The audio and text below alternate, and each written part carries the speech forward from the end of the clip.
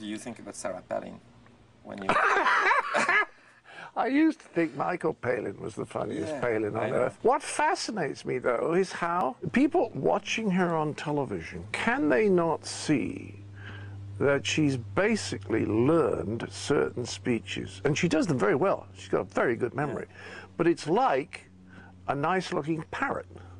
Because the parrot speaks beautifully and, and kind of says all shucks every now and again but doesn't really have any understanding of the meaning of the words that it is producing, even though it's producing them very accurately. And she's been in these training sessions with Cheney's pals, and she's learned these speeches. And the extraordinary thing is that so many people are taken in by it. And the truth is that Sarah Palin is no way good enough. And if you lined up from Europe, left wingers, centrists, right wingers, you wouldn't find 10%. You probably wouldn't find 5% who think she's good enough to run the United States. And she's running as the partner of a 72 year old cancer survivor.